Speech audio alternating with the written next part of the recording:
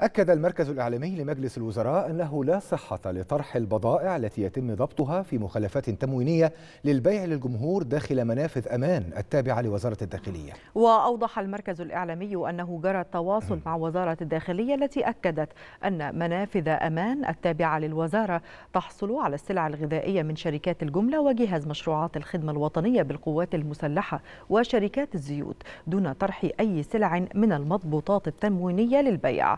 حيث يتم التحفظ على كافة مضبوطات المخالفات التموينية لحين صدور القرار بشأنها من قبل النيابة العامة التي تقوم بفحص كميات السلع التموينية المضبوطة إيضاحا لمدى صلاحيتها للاستهلاك الآدمي وإعدام السلع غير الصالحة للاستهلاك.